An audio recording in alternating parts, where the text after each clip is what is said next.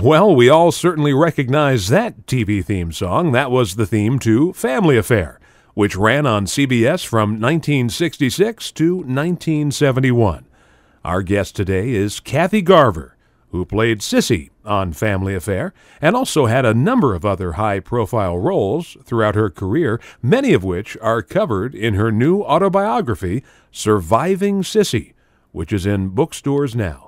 And uh, since we don't have a lot of time with uh, Miss Garver, if you don't mind, uh, I'd like to get right into it. That's fine with me. Thank you. Now, was your book, Surviving Cissy, something that had been uh, percolating inside you for some time? I actually started on this book 10 years ago. I Hmm. don't recommend that for most authors, but I had started compiling my memories, and then a couple things happened in between, like my house burned down. Oh, my goodness. I had to do some movies, and some of my papers got burned up. So uh, I, uh, it's been a work for a while, but then when I made a two book deal with Rowman Publishers, and they gave me a deadline that really put the fire under my feet and got me going and I finished it which is nice. And my second well actually my third book will be out in March called Ex Child Stars Where Are They Now? You know, I, that I one only took 6 months. Well, I'd I'd like to uh, go back to the very beginning of your career and discuss with you the Ten Commandments. Now, that's the biggest and most prestigious film uh, one could ever hope to make their debut in. And even though your your part in the film was relatively small, do you do you have any memories of, of working on that uh, epic film? I do because it wasn't the silent version. this was the, the one that the great Cecil B. DeMille, the director, did a little bit later. And I was a small child, but I have many memories and sensory memories uh, as well.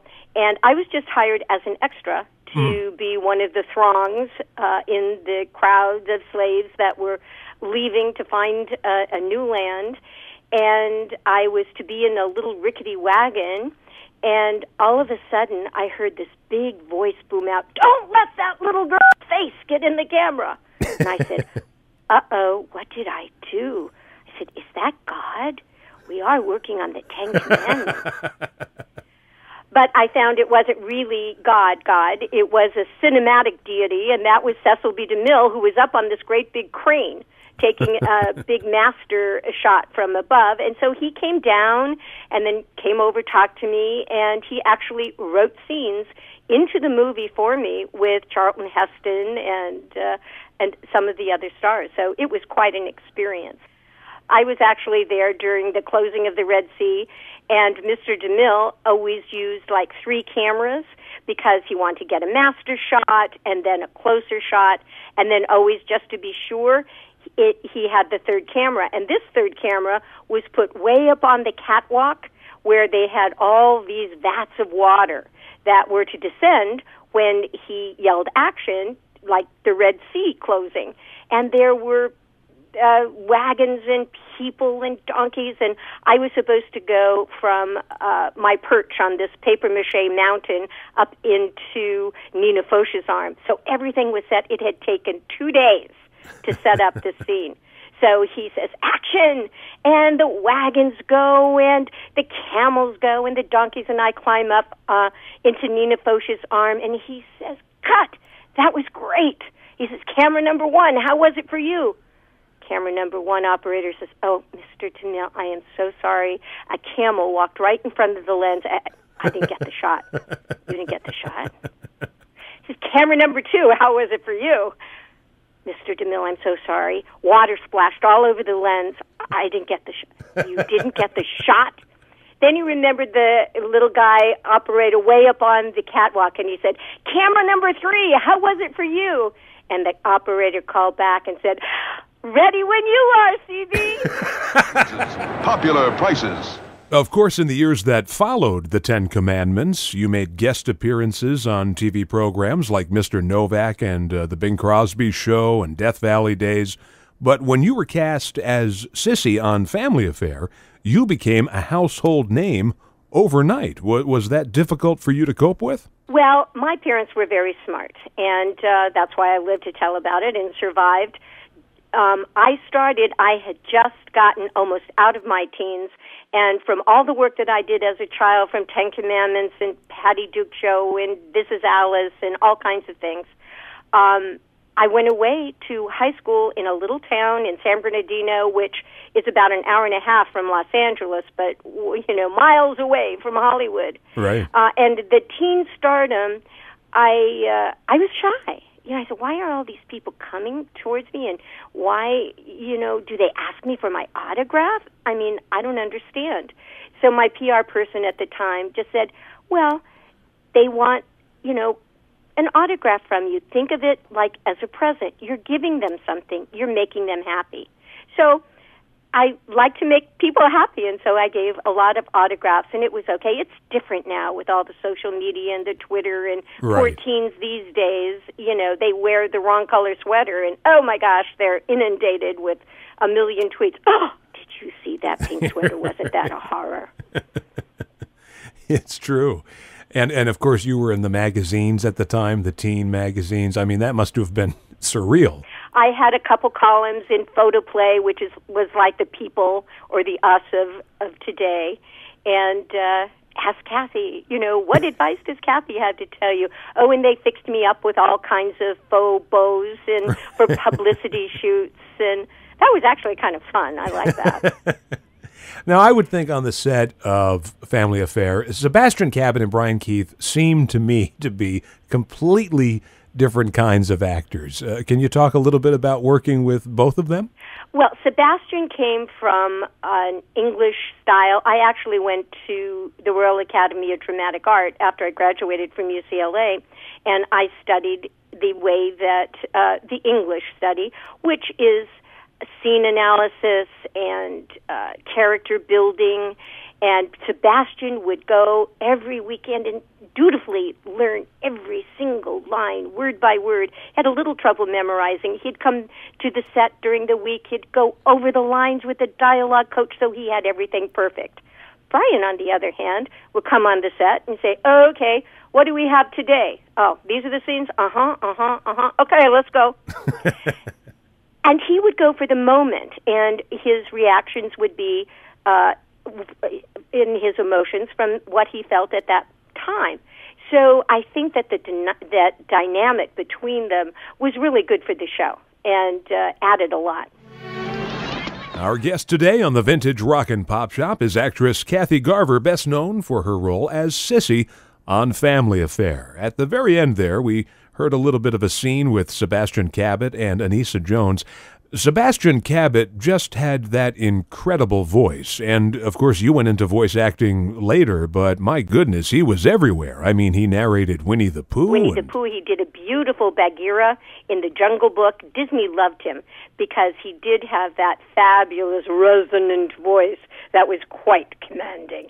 Interesting because he uh, had a Cockney accent. He was born in, in some of you know the the lower echelons in England and had this Cockney accent, and uh, then he learned to speak beautifully. Oh, so he had elocution lessons. Interesting. Yes, he did. Actually, I I teach speech as we speak uh, up in San Francisco, and I majored in speech in college. That's why I talk so much. Would you tell that girl to be quiet? We want to hear what Dave has to say. no, no, we want to hear from you. Can Can I ask you about? uh, your little co-star who played Buffy on the show, Anissa. Which means a little friend in Lebanese. And ah. she was a little friend to so many people. She was a very kind, very smart little girl. She was a delight. She would uh, cook things sometimes at her house and bring them and share them with everybody on the set. She was friends with all of the crew. She was a very happy little girl. We um, I would go over to her house and we would do sleepovers and she would come to my house. So she really was like a little sister and, and we had a great time. And it was just tragic what happened to her and how sometimes the production companies and directors and public relations people push our young stars uh, today. That was some of the impetus for me writing this book about ex child stars. Where are they now? and there are some tragedies that happen because, well, it's very hard to regulate anything like that. Um, although now, and due to Paul Petersen from the Donna Reed Show, got laws passed, uh, the Coogan Law, for instance, which saves a portion of a young star's money in a special account, so people just can't go willy nilly spend it. You know, the families on their mortgage or the other kids in the house. You know that uh, someone that has spent their childhood working at least has something to show for it when they turn 18. Now, you've been very active in the voiceover world. In fact, in the 1980s, you were on a TV series, a Saturday morning cartoon series called Spider Man and His Amazing Friends, playing one of the amazing friends. And that character was specifically created for the cartoon, but it's now been adopted into the official Marvel Comics universe. So you have a whole different fan base. It's great. Yes, I was Firestar and Angelica Jones. and, you know, both these shows, like uh, Spider Man and His Amazing Friend and, and Family Affair, are classics. Um, Family Affair is still on MeTV. Um, Spider Man and His Amazing Friends can still is still on the Saturday morning cartoons. There are DVDs of Family Affair. I go to a lot of comic book conventions, and fans will come up to me and say, "Oh, I loved you as Firestar," and some were unaware because you just hear my voice and you don't see what I look like. That's what I love about voiceovers. You can do them at home in your pajamas, or you don't have to look like a superheroine with fire bolts coming out of your fingers or whatever. and they can tell me every single episode, and they are, you know, as you say, it's a whole Marvel universe and realm, and they know all of the characters in there. As do I. now, I know that people who go to comic book conventions like to dress up as their favorite characters. Has anyone approached you actually dressed as your character, Firestar? No, um, there are a lot of Spider-Mans, but at one convention I bought the outfit that this fellow had, you know, with the, these really spandex yellow sure. uh, things and tights, and uh, I actually never wore it, but I did buy one of those blow up dolls. Now I must tell you, okay. please don't Google a blow up doll. I went to do that just so I could dress the doll in this outfit. Well, I'm telling you, I got porn for about a year before they finally said, "Oh, I guess she's not really interested in that." So that that was quite an experience, I must say. now the book again is Surviving Cissy and it's in bookstores everywhere. Is there a place online where people can catch up with you? Well, they can get an autograph copy actually at my website, which is www.kathygarver.com, K A T H Y G A R V E R. And of course, it's on Amazon and all of the online stores. It's in Barnes and Noble.